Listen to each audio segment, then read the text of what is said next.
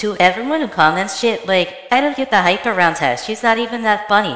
I understand completely. I don't know if people laugh this shit either. All I do is play Animal Crossing and cry.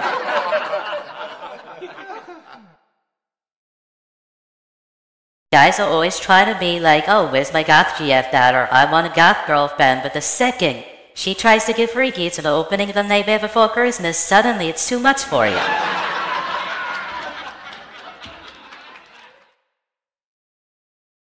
So I used to know this white witch chick, right? And I remember one time I was talking to her and I said the name Lilith in regards to astrology. And she's like, oh my god, don't say that. It's like a forbidden name. You're not supposed to say it. Like, it's like Voldemort, blah, blah, blah. And I just looked at her and I was like, Melanie, I've heard you say the N word.